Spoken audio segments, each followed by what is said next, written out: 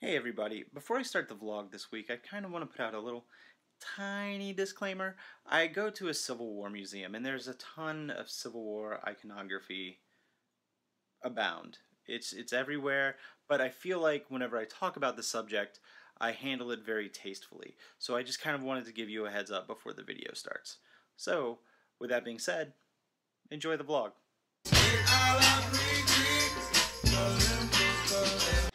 Guys, how's it going? Today we are going to go check out a museum. Now I don't know if you remember a few months ago whenever I went down to uh, the downtown Marietta Square with my buddies Tim and Monica, we talked about the Kennesaw House, also known as the Marietta Museum of History, and we talked about the Great Locomotive Chase and how uh, a very famous locomotive by the name of the General that was stolen there.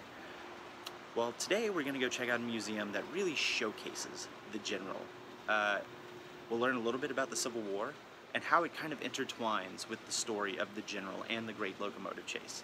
So let's go check it out. This is where we were standing, but if we take a short walk right across the street, there's the museum. So let's go take a closer look.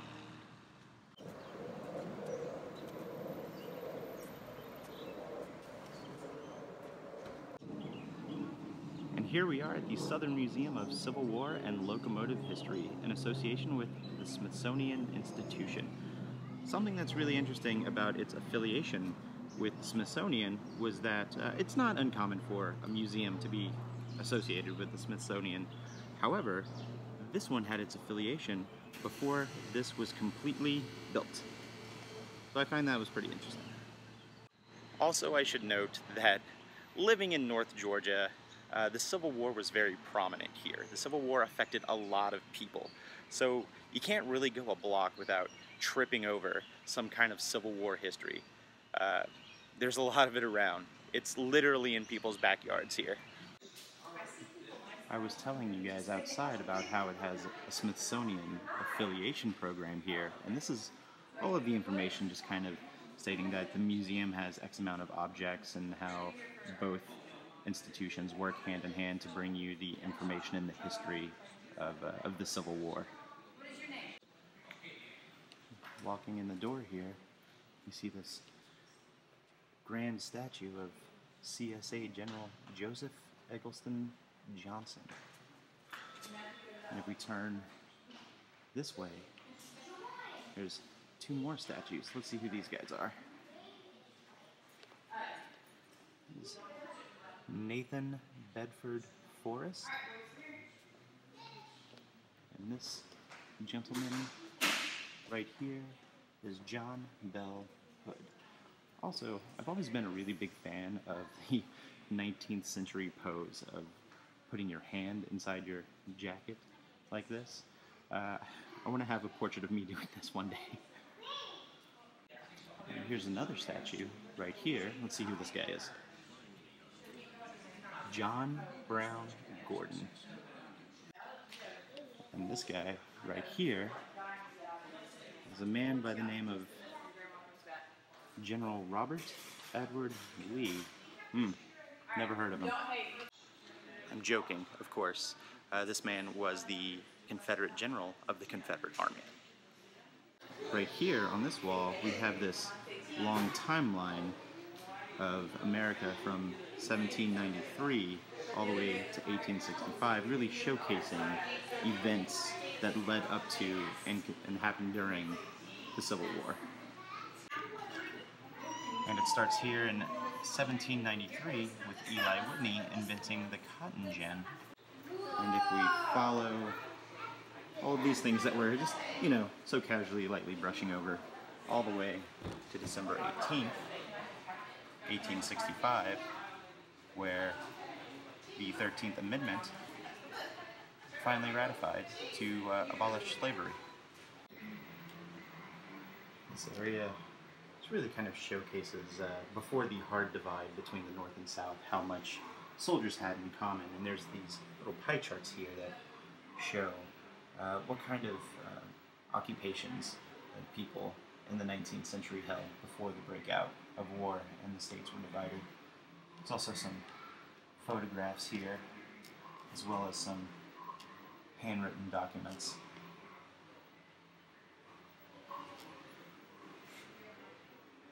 That one's not handwritten though. Here we have a panel here about the Civil War beginning with those fateful shots fired at Fort Sumter on April 12th.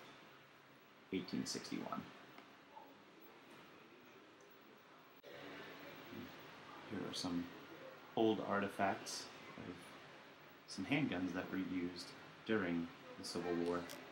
Uh, look at this one 1842 pistol.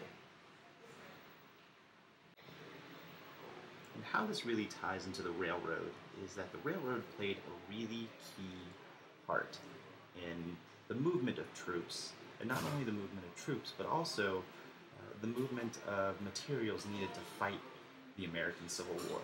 So we're probably going to see a little bit of that as well as we walk through the exhibit. Again, it'll be new to me, just as it is new to you, because I have not been here for at least 10 years. So let's go continue seeing what we can find.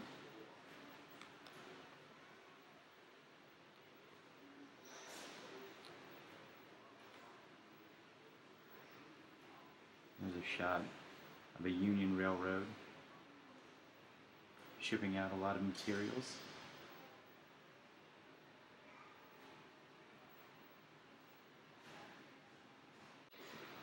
I know a second ago we saw some handguns of the Civil War, but here we have some rifles of the Civil War.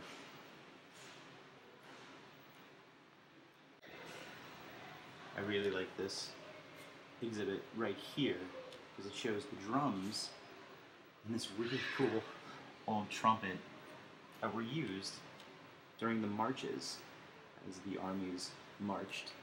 People would play these instruments. And uh, a lot of people might not know, but a lot of these early marches eventually, kind of down the line, evolved into what was ragtime, and then ragtime then evolved into what we now know as jazz and blues. Also, I kind of want to point out all of these murals that we've been seeing, all these really amazing paintings, these great pieces of artwork. And this one right here was done by a man named Don Troiani, and uh, I guess that's his website, but yeah, that, that artwork is stunning. This panel is really just talking about how the two different armies utilized the railroad. You can see pictures of railroads being built and uh, how you had to quickly and efficiently build the railroad because there was also a good chance that the opposing side could destroy a railroad. Again, they used the railroad to supply not only troops but also materials for the war, so railroads were very, very important, and if you lost one, it could be very detrimental. And right here we see some artifacts from a Confederate soldier who had some die and some playing cards and what appears to be a small Bible, if I'm not mistaken. A nice whiskey flask back there. And right here we see some Union soldier artifacts from a lot of items that they carried throughout the war. It's a razor, looks like a little pocketbook, a mirror. Here, this panel just details more of what I was talking about earlier about how you had to guard the rails from sabotage.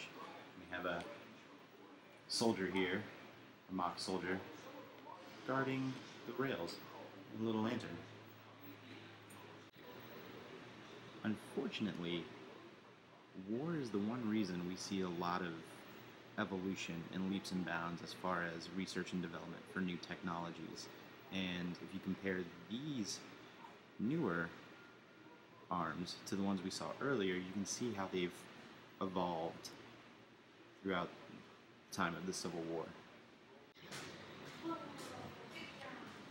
Right here, oh, you can see my reflection. Hey guys, I see a Union soldier's jacket. Right here, here's a dress. Let's see, who, who wore this one? Uh, women's day dress. This dress was worn during daily activities. It consisted of two pieces. Simple decoration suggests it was made in the South.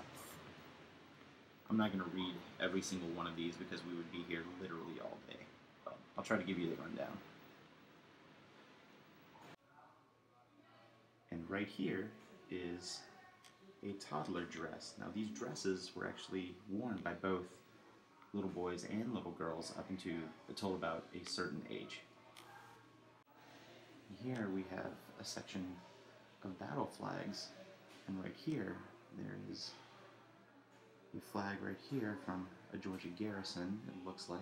Now, I want to note there is a lot of controversy about this flag or variations of this flag right now in the country due to a lot of socio-political strife. Uh, but I, I, I kind of want to take a second and talk about it because I think out of everywhere this flag is displayed, the one appropriate place that it should be displayed is in a museum in the context of its time. And I say that because it's history, and history happened.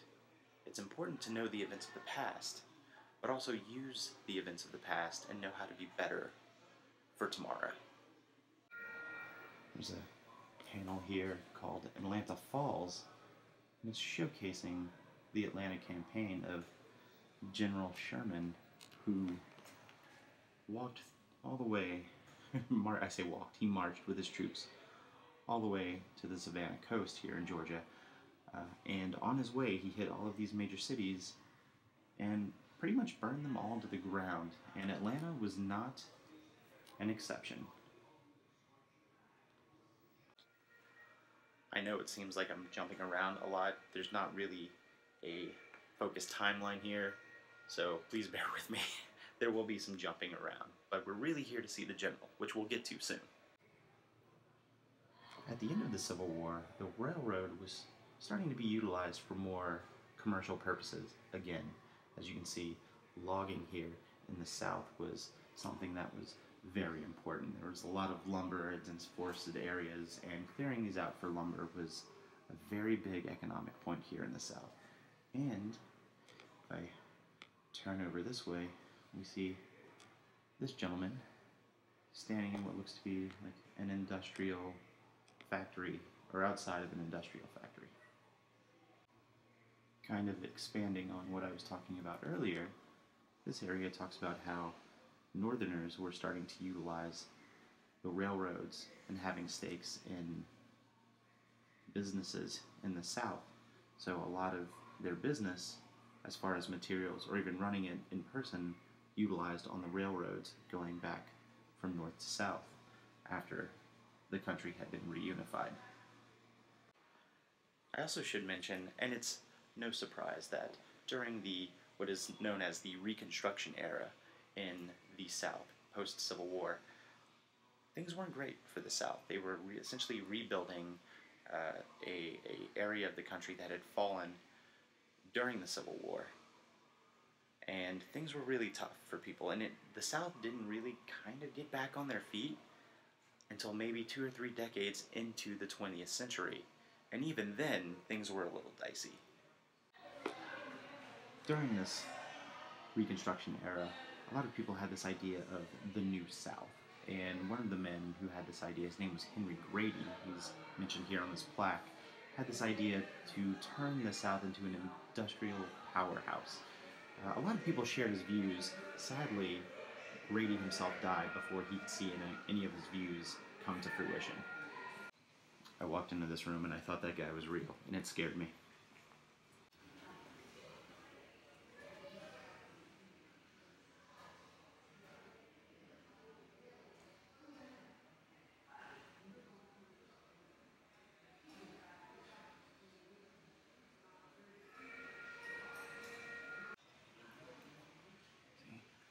Pattern shop here where they produced a lot of locomotive pieces for the steam engines.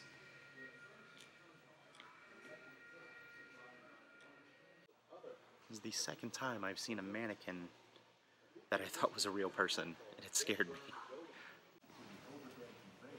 You can see on the floor here that there's a pattern of a railroad. I guess at one point in time there was some form of I guess maybe train tracks that were on the floor that were since been removed. but uh, I just noticed it. The Glover Machine Works was a very prominent steam engine company here in Atlanta where they produced a lot of pieces for steam engines and also steam engines themselves. So we're going to walk in here and take a look at what they have to show. That's what their factory looked like. See a lot of people working produce the steam engine parts.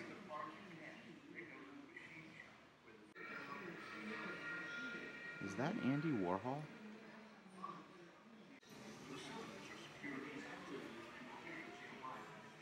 Here we see a gentleman working on a steam engine right here. So I don't know about you guys, but would you say he's been working on the railroad all the live long day? I'm not apologizing for that joke. You guys see this motor here that's attached to this belt, which is attached to this rod over here, which is attached to this rod, which is attached to this belt in this machine right here. But if we follow it back up, you see the belts are also attached over here as well to this machine. And if we follow it a little bit further, this machine right here, and all of these machines connected to this one motor that's over here would take these raw materials and shape them into what they needed to be. Now this wasn't just the practice for steam engine or locomotive pieces, but this was also pieces for other pieces of equipment such as automobiles and washer washing machines at the time. And here's another shot. The motor is right here with the belts that are going up to all these rods over here. And this one motor turns all of these, which makes all these guys work. That's a 19th century innovation for you. And right here we have a model of the Glover Machine Works circa 1904. But Jordan, how do you know that that is specifically 1904? Well, because it says so right there on the sign. The Glover Machine Works served many industries like coal, brick, steel, and lumber. And they traveled to all of these different states around the 1930s, when the entire industry of the steam engine and the locomotive started to dwindle, uh, this really hurt the Glover Machine Works. They actually stopped producing locomotives around the early to mid 1930s. They did, however, stay open, and they did repair them for, for a time being afterwards. uh, you got me. You got me. Interesting story, bro. And here is one of the main reasons we came to the museum today. It's to talk about Andrews Raiders. Quick recap. James Andrews was a Union spy and saboteur who had an idea of stealing a locomotive from Marietta, Georgia, bringing it back up to the Union troops that were stationed in Chattanooga, Tennessee, and there they were going to cut off the railroad line that led into Marietta and ultimately Atlanta, thus cutting off materials and goods that could be used for the Confederacy. Didn't really work out so well for him. right here you see an artist rendition of the locomotive The General that Andrews stole. There is the man himself the head saboteur James Andrews, and as I back up, I can show you all 24 men who were involved in the raid.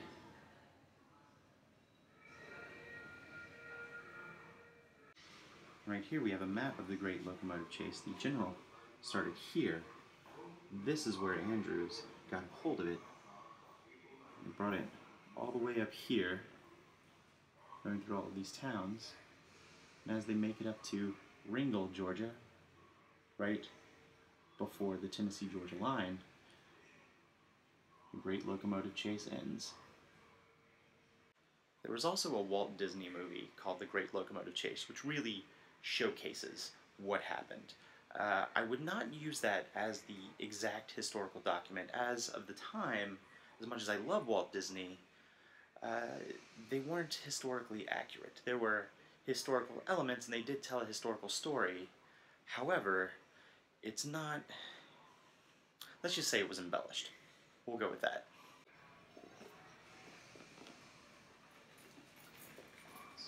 Follow these train tracks here. See where they lead us. I think it's going to be something pretty cool. We're going to go under the tunnel here. I didn't feel like pronouncing that name. Look at that. That's it. That's the train in question. The General.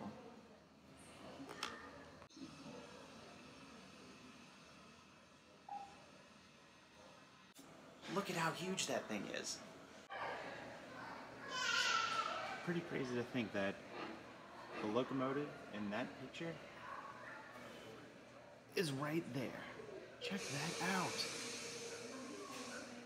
I'm kind of in awe. It's very rare that such an item, or I say I say item, I should probably say object or museum artifact, has such a very interesting story tied to it. And then, as you're learning about it, going through the museum, you get to see the main piece in question.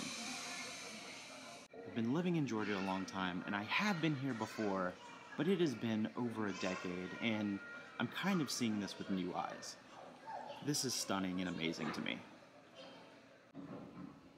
WNARR for the Western and Atlantic Railroad Company. Try to get a close up to see if I can show the working innards of the train there.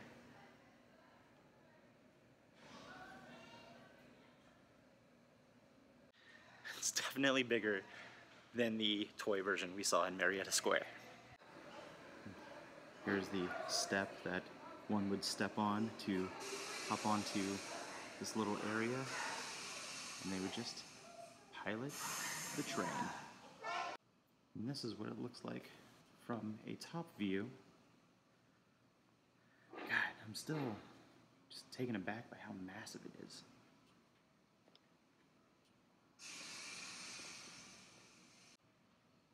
Let me see if I can zoom into the little conductor's area there You can see all of the stuff going on.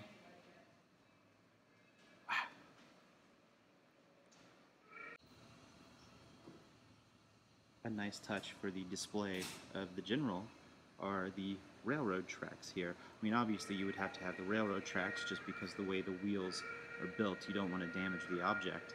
But I like how they go the extra mile to make all of the gravel out here look like it's it's out in the wild and it's the general in his natural habitat. But I thought that was a nice touch. I like that. Have I mentioned that I liked that? Here is a cookie jar in the shape of the general. And Right here is a whiskey jar in the shape of the general. Another one for a bottle of cologne. There's a nice timepiece right there. I mentioned earlier that Walt Disney made a film. Here's one of the international movie posters here. There's another one. Here is the American movie poster. And right here is the coat worn by Fess Parker in the film. There was also a silent film made by silent film star Buster Keaton, and right here is a portion of a film strip for said film. Here's a Disney comic book also telling the story of the general. There is a program here for the world premiere of the Walt Disney film. We also see here that the general has been commemorated on some plates. I don't think you really make it in the world until you're commemorated on a decorative plate, but that's just me. And as we bid adieu to the general, we will make our exit, like most museums, through the gift shop. I asked the lady in the gift shop if it was okay if I could film, and she didn't feel comfortable with it, but she did allow me to take some pictures. So what I will do is I will drop pictures in here so you can see what the gift shop has to offer.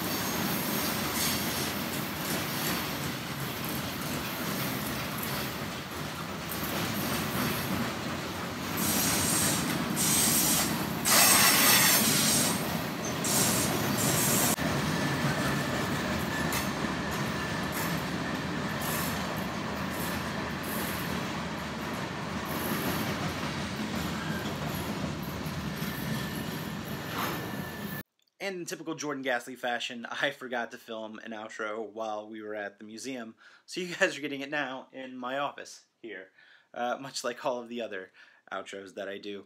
So anyway, if you enjoyed the video, please give it a thumbs up, give it a like, give it a share on Twitter.